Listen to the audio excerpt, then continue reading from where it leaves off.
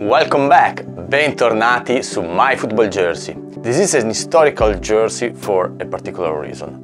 This is uh, the jersey of Ronaldo, of the first match of Ronaldo with the Pro, and this is the home jersey of Porto for the, the season 2001-2002.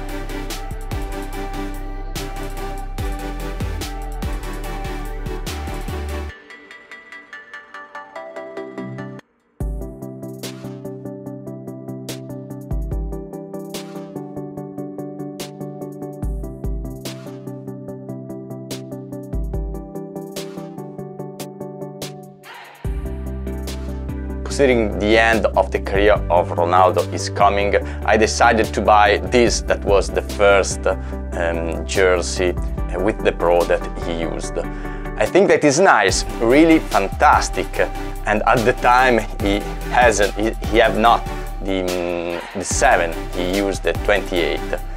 Really nice, really top quality. As you can see the cost is low as always and the shipment was really good. I received the jersey in 3 weeks.